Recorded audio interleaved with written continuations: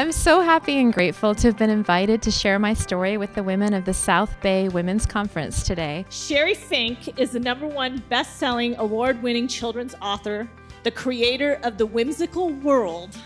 Her mission is to inspire and delight children while planting seeds of self esteem that can have lifelong benefit. To be able to be the closing keynote meant so much to me. And I'm so honored to be here with you this afternoon. And I really respect and admire the women who are here and making a huge difference in the world. The little rose didn't quite fit in and never understood why the other plants treated her differently. She hoped that she could be just like them when she grew up. Now, this is my story, but it's really all of our story because inside each of you, just like me, there's a little rose. She's a, an awesome lady, very kindred spirit, and uh, her perseverance is just amazing. I grew up in a very small town, so I pretty much created my own little world. I created my own stories, I did my own art. Because if you want to write a book, if you never ever create the time to write it, it's never going to be in your hands. I felt like I would do anything to change this circumstance. And at that moment,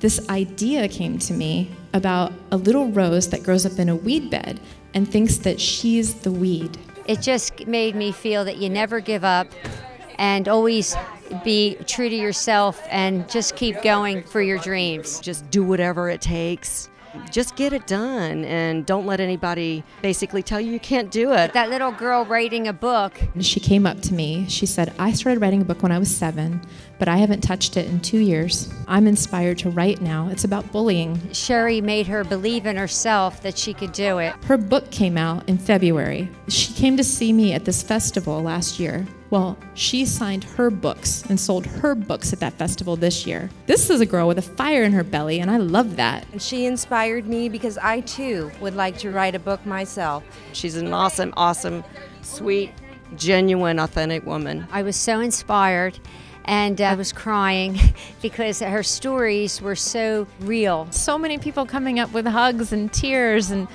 sharing their story with me is just so powerful, and I'm very, very grateful. You know, her story is so inspirational. It makes you feel you can do anything you want to do. Every single one of us has dreams and ambitions and wants to make a difference. And why wouldn't we do whatever it took for those to come true?